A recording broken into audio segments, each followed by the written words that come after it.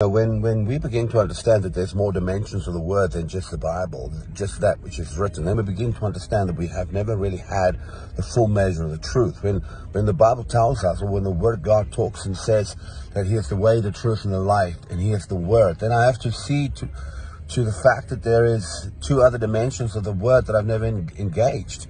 He is that which is written. That's the Bible. That's what we have in hand. That's all we've engaged but also that which has been spoken and that which is alive. Now, that which has been spoken is the dimensions of that which the Father has illuminated to you. It is the dimensions of the living letters. It is the dimension of what has come out of Him, what has been spoken over the years by the prophets, the things that have not been written down, the things that have been spoken in, in privacy within the kingdom of heaven. All that is, a, is in the atmosphere. We get to go into it to get that understanding and to grasp on that revelation that's released. That's why the King search out the mysteries. In the same breath, we have to engage the living. We have to begin to understand understand the value of going in up into the kingdom of heaven and to sit with Yeshua, to engage with him, to worship him, to magnify him, to get him to, to, to overshadow us so we can begin to understand all of who he is.